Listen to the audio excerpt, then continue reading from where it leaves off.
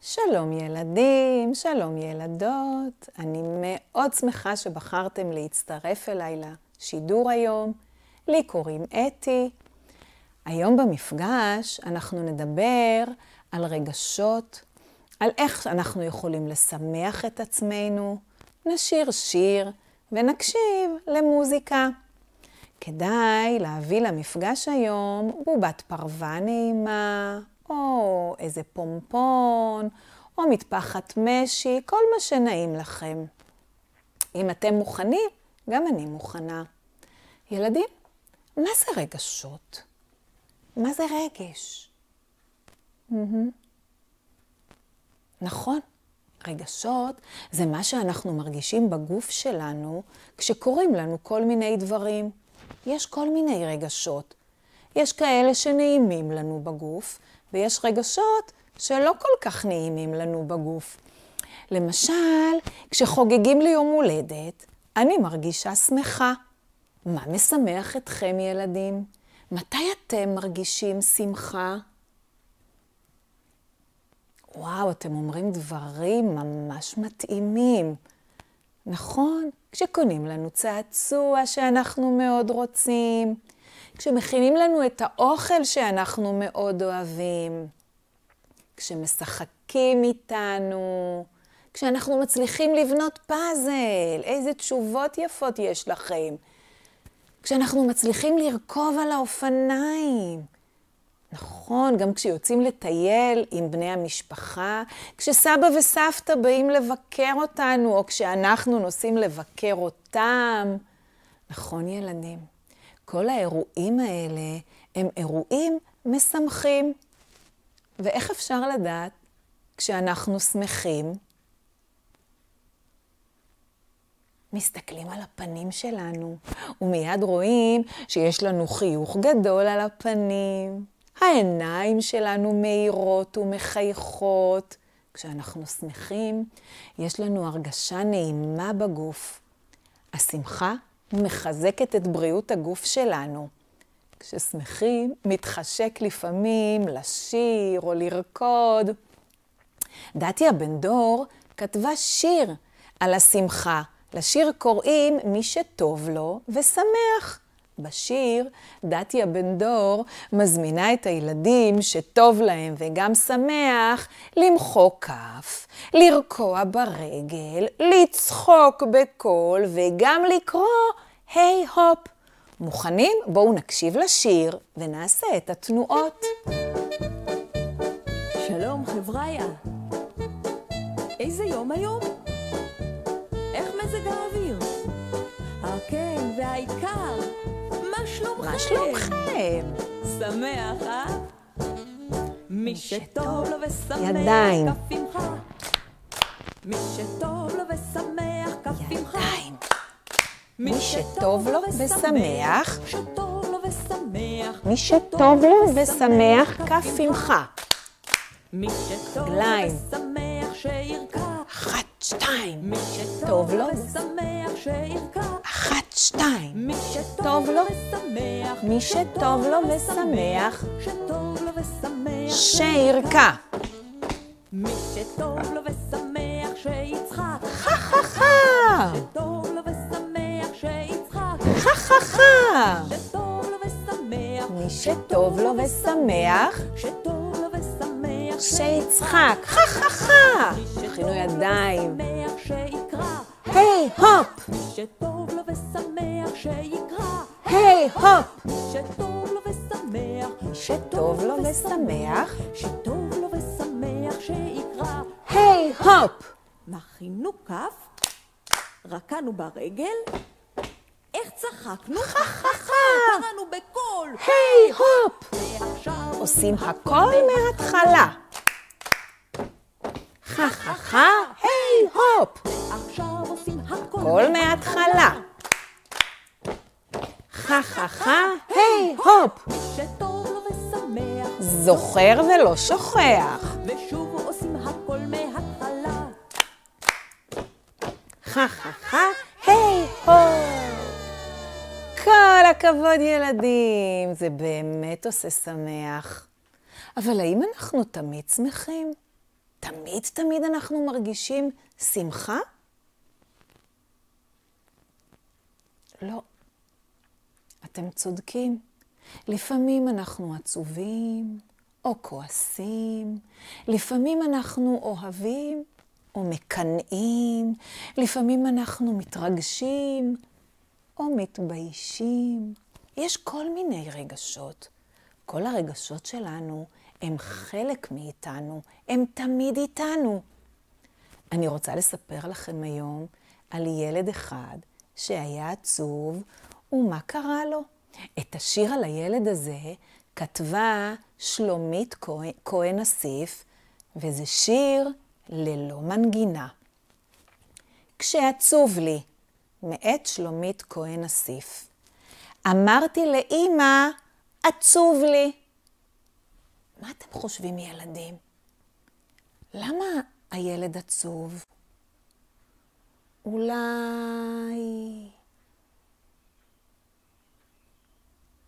אולי כי כואבת לו הבטן. אולי... אולי כי לא קנו לו את הצעצוע שהוא מאוד רצה. אולי... אולי כי אף אחד לא משחק איתו. אולי הוא לא הצליח להרכיב את הפאזל שלו, או לצייר את הציור שרצה. או אולי מישהו אמר לו מילים לא יפות והעליב אותו. ואולי לא מקשיבים לו. ילדים, אתם אומרים דברים ממש מתאימים. כל האירועים האלה באמת מעציבים ולפעמים גם קצת מכעיסים. בואו נראה מה אימא אמרה לילד בשיר שלנו. לך תשקה את העציצים, אימא אמרה. מה אתם אומרים ילדים? להשקות עציצים עוזר? הנה, הבאתי לנו כאן עציץ קטן מהגינה שלי. אתם יודעים שאני מאוד אוהבת להתבונן בעלים שלו. אני אוהבת להרגיש את האדמה שלו. אוי, באמת האדמה יבשה. נראה לי שבאמת צריך להשקות אותו. רגע. אני אשקה אותו מעט. Mm. אולי עוד מעט. כן. עכשיו האדמה לחה יותר. אתם יודעים שכשעצוב לי, אני אוהבת לצאת אל הגינה שלי? אני אוהבת לראות את הצמחים שצמחו לי בגינה, את הפרחים שפרחו בגינה. לפעמים אני גם קצת עובדת בגינה, אני מנקשת את העשבים, קוצצת מעט את העלים. זה עושה לי הרגשה ממש נעימה. מה אתם אומרים, ילדים? גם לילד בשיר זה יעשה הרגשה נעימה? האם גם הוא עכשיו ירגיש שהוא כבר לא עצוב? בואו נמשיך ונקרא בשיר. השקיתי ולא עזר, העצב לא עבר. לילד שלנו בשיר זה לא עזר. מה הוא יכול לעשות עכשיו? אם אימא הציעה לו משהו, וזה לא עזר, העצב לא עבר, מה יכול הילד שלנו לעשות עכשיו? יש לכם רעיונות נפלאים. בואו נראה אם הילד שלנו ישתמש באחד מהרעיונות שהצעתם לו. בואו נראה מה הוא עשה. נחזור לשיר. אמרתי לאבא, עצוב לי. הילד שלנו פונה לאבא. אולי אבא ייתן לו איזשהו רעיון. אולי אבא יוכל לתת איזושהי עצה שתעזור לעצב לעבור. בואו נראה מה אבא אמר. אז תשיר שירים, אבא אמר. מה אתם אומרים, ילדים? שירים יכולים לעזור לנו כשאנחנו עצובים או כועסים? רוצים לנסות? אתם בטח מכירים המון שירים שמחים. יש לי רעיון. זוכרים שבתחילת המפגש שרנו את השיר של דתיה בן דור, מי שטוב לו ושמח. אולי נשיר אותו עוד פעם ונראה אם זה עוזר, מה דעתכם? אבל הפעם, כשנקרא היי הופ, לא רק נקרא, אלא גם נקפוץ. מוכנים? בואו ננסה. שלום חבריה. איזה יום היום? מזג האוויר? אה, כן, זה העיקר. מה שלומכם? שמח. מי שטוב לו ושמח כף עמך. מי שטוב לו ושמח כף עמך. מי שטוב לו ושמח. מי שטוב לו ושמח. מי שטוב לו ושמח עמך. לרקוע ברגליים. אחת, שתיים. מי שטוב ושמח שירקע. אחת, שתיים. מי שטוב לו ושמח. מי שטוב לו ושמח. מי שטוב לו שירקע. זוכרים? עכשיו אנחנו צוחקים. חה חה חה. חה חה חה. שטוב לו ושמח. שטוב לו ושמח. מי שטוב לו ושמח. חה חה חה. היי הופ. זוכרים לקפוץ? היי הופ. שטוב לו ושמח. זוכרים לקפוץ? היי הופ. מחינו כף, רקענו ברגל, איך צחקנו? חה. קראנו בקול. היי הופ. עושים הכל מההתחלה. חה חה חה. היי הופ.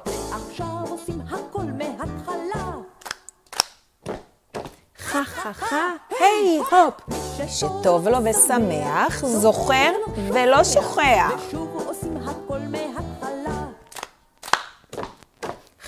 חה, היי הופ!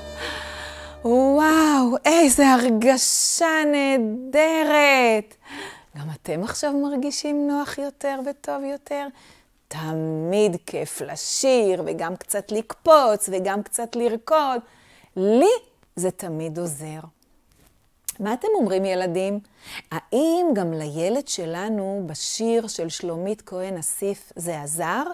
בואו נחזור לשיר ונראה.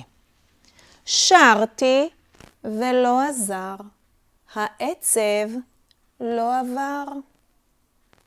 זה לא עזר לילד שלנו. זה לא עזר לו. אמא אמרה לו להשקות את העציצים, וזה לא עזר. אבא אמר לו לשיר שירים, וזה לא עזר. יש לכם אולי רעיונות נוספים, ילדים? מה יכול לעזור לילד שלנו? מה עוזר לכם כשאתם עצובים או כועסים? כן, כן. אולי, אולי חיבוק מאימא או מאבא או מבן משפחה שאוהבים. אולי להחזיק דובי או בובה שאוהבים, נכון? אולי גם להיות לבד, אולי. ואולי לשחק במשחק שאוהבים, ואולי לשטוף את הפנים, נכון? אולי להקשיב למוזיקה שקטה, ואולי לספר לאימא או לאבא או לבן משפחה למה אנחנו עצובים. ילדים, הרעיונות שלכם נפלאים, הם כל כך מתאימים.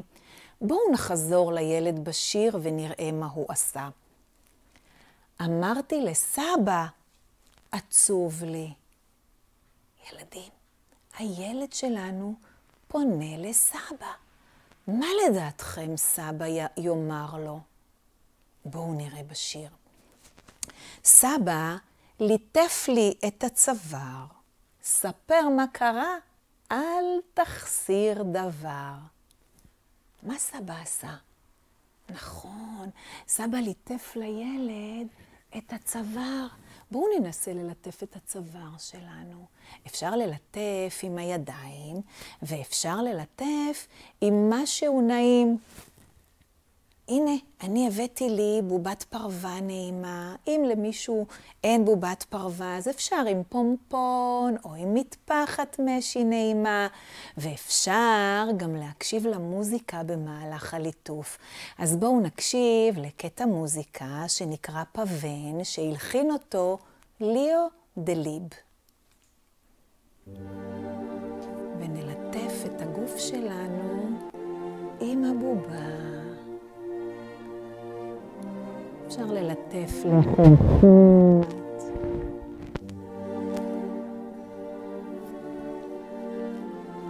ללטף את המצח. ללטף את הלחי השנייה. וואו, כמה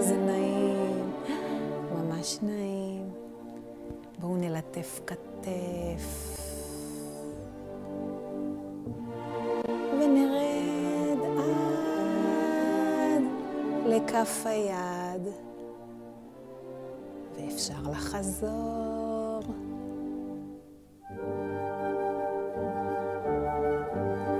ואפשר לעבור ליד השנייה, נלטף את הכתף. מי שרוצה יכול לעצום עיניים. ונרד עד לכף היד. ונחזור. מה עוד אתם רוצים ללטף? אולי את הבטן, גם זה נעים. ואולי גם רק להרגיש את הדובי או את הפרווה, את הארנב, להרגיש את הפרווה הנעימה.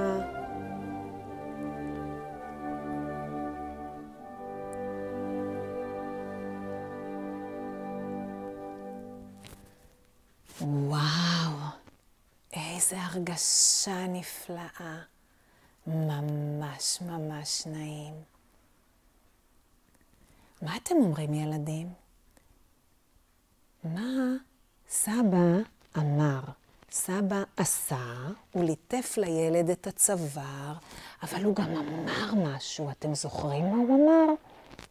הוא אמר, ספר מה קרה, אל תחסיר דבר. לפעמים כשמספרים זה ממש ממש עוזר. לפעמים כשכועסים או עצובים ורק מספרים למישהו שמאוד אוהבים, זה ממש עוזר. בואו נראה אם גם לילד שלנו בשיר זה עזר. בואו נראה. סבא ליטף לי את הצוואר, ספר מה קרה, אל תחסיר דבר, והעצב עבר. היי, שמתם לב ילדים? העצב של הילד עבר. ההצ... ההצעה של אימא לא עזרה. ההצעה של אבא לא עזרה. ההצעה של סבא עזרה.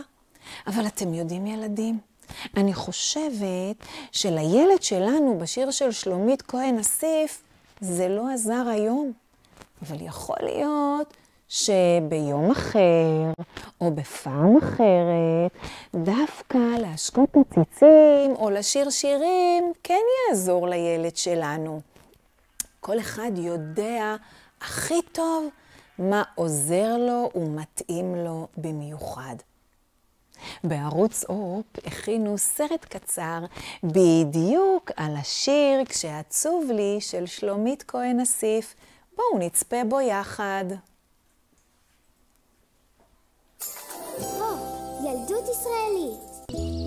כשעצוב לי, מאת שלומית כהן אסיף. אמרתי לאימא, עצוב לי. לך תשקה את העציצים, אמא אמרה. השקיתי, ולא עזר. העצב לא עבר. אמרתי לאבא, עצוב לי. אז תשיר שירים, אבא אמר. שרתי, ולא עזר. העצב לא עבר. אמרתי לסבא, עצוב לי. סבא ליטף לי את הצוואר. ספר מה קרה, אל תחסיר דבר. והעצב עבר. נהדר ילדים. אז בואו נראה מה היה לנו היום? מה עשינו היום? שרנו שיר, הקשבנו למוזיקה, דיברנו על הרגשות, דיברנו על הרגשות הנעימים והלא נעימים, ואמרנו שכל אחד מכיר ויודע מה הכי נכון לו. ומה עוד אפשר לעשות? אפשר לקרוא ספר, או לבקש שמישהו יקריא לכם ספר. אפשר לעסוק בפעילות גופנית, זה תמיד מביא אה, שמחה. אפשר ליצור ביצירה, לצייר, להדביק, לגזור. ואפשר גם לחפש מקום נעים, לשחק בו, ביחד או לבד. תודה רבה לכם ילדים שהייתם איתי היום. להתראות.